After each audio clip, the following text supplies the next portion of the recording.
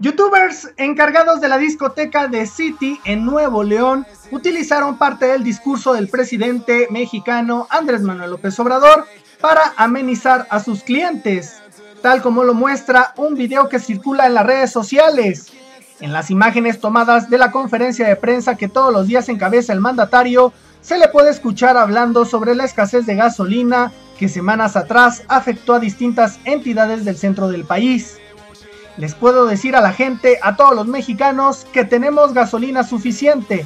No hay ningún problema de desabasto. Se escucha decir al tabasqueño en medio del bullicio del lugar. En la grabación se escucha a algunos de los asistentes de la discoteca victorear al presidente mexicano López Obrador, quien aparece en una pantalla gigante mientras gritan Viva México. Esta es la nota, yo soy Alfredo Mata, les dejo un gran abrazo y que estén muy bien.